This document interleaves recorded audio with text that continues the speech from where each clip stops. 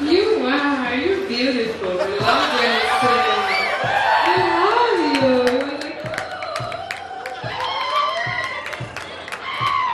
Hi, I'm Justin Jacobs with Motor City Rocks. I'm here with Marc Collin from Nouvelle Vague. I'm going to ask a few questions. Um, how are you doing? I'm fine, I'm fine. It's really cold in your city, I would say, but Yeah. uh, it's okay. It's good. Yeah. Have you ever been to Detroit before? No, it's the first time, so I'm really, really happy. And tomorrow, I think we have time to go to visit a little bit the city. Oh, nice. Yeah. That'll be fun. Yeah. So let's get down to it. Let's get down to it. Um, what it? I, I wanted to know what's the process of converting these songs into the bossa nova style. Is it hard to do? Well, first, I, I, um, I don't like when it's, you know, when you are just saying that it's this kind of trick, like, okay, converting new wave onto bossa nova. Right, yeah. No, just, it's not for you, uh, but it's just that uh, I think that Nouvelle Vague is more than that in a way. Okay, And- how- how and- is it then? And I think we did three albums to prove that somehow. Okay. Okay. But uh, it's just to imagine a song, try to get something from the song that will bring you somewhere else in a different time, a different country, you know. So it can be something from the lyrics. If I don't know if I'm thinking of uh, of uh, Bela Lugosi's Dead, for example, from Bauhaus. I, uh, I imagine that song could be could have been a soundtrack for a kind of uh, sci-fi uh, Z series movie, but in the 70s, Okay. before. Yeah. So I try to, to produce the song like this. So each each way I have to imagine a little scenario for each song. Yeah. Okay. and and is it hard to do to, to imagine a scenario and convert this music? No, because I think it's hard. No, because I think that we are choosing good songs, and uh, and I think I got the tools in a way in my studio in Paris, and I got no good musicians. So as soon as we get some ideas, uh, you know, I, I know. I, I mean, I got I, I did a lot of music already before, so I know that uh, to get this mood, for example, of soundtracks or uh, from the 70s, I had to have to get these instruments or this thing. You know, I, I'm a producer for a long time, so I, I know how to do it. Excellent. What are your, what are some of your favorite bossa nova records? Interested. you like Um, Astrud? Or yeah, for sure. Yeah, yeah. Uh, I don't know. Maybe uh, maybe the one that uh, Elis Regina did, uh, but I don't remember the name of the album. And I think it's really good. Actually, the most known one, I think it's uh, Stan Getz. Stan Getz, yeah, Stan Getz. Stan Getz. It's the Girl from Ipanema. The Girl from. Ipanema comes from that. And the yeah. album and some album of Joao Gilberto are really good. Schwab. Yeah, excellent, excellent, excellent. Um, I, I, I have to know though, um, where where did the idea, this whole idea of, of doing these these covers of these songs, where did this come from?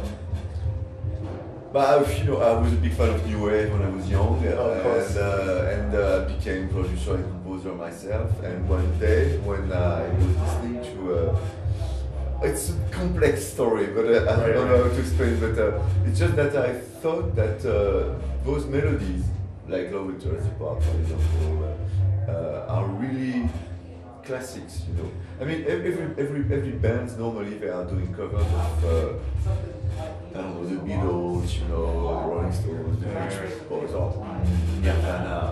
Bands that are really, really known for their songs and all that stuff. But no, there's not that many bands that are doing covers of The Sisters of Mercy, uh, this kind of band, Gang of Four, I don't know, Visage. So, so the, the way it was to prove that those bands that are coming from punk, that normally they don't know how to write a song because they just started, you know.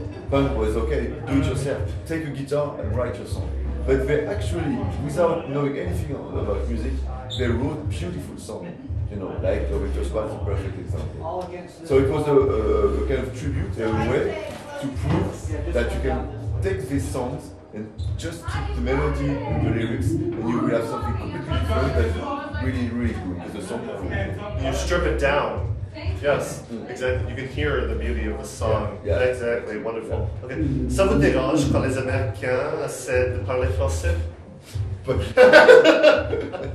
no, no, no, no, no, no. I just asked him if it, if it bothered him if uh, when Americans speak French, and he said no, no, no, no. No, no, no. Does it happen a lot? Do people in, in the interviews try to speak French to you in like a, a s- in, a, in a way?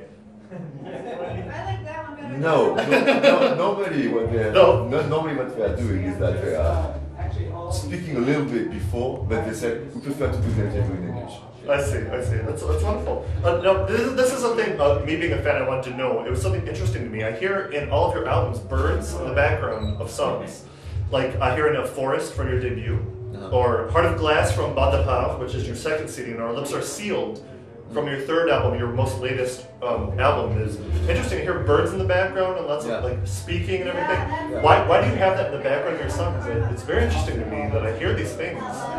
Where does that come from? Where's the It's because I like to. It's, it's, it's, it's uh, linked to this idea of imagining a scenario.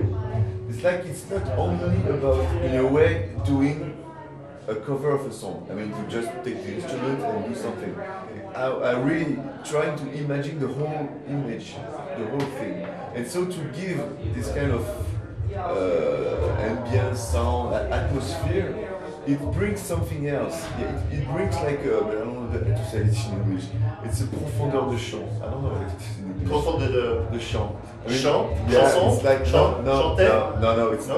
The, the camera when you get something what you can see behind. Well, well, I forget. I don't know remember the name. But it is, it's, it's like when you listen to the song, you have the song and you have some in the song in in something in a world in in a, in a, in a, oh, À l'intérieur. in a forest or Inside. in a, Oh, in inside. the for- yes, I see, I see, In a, in a, in a, in a, it's somehow you have all the thing to, to for, for you to imagine the, the, the whole picture. So you want to provide that for the Yeah. listener. I see. That's interesting.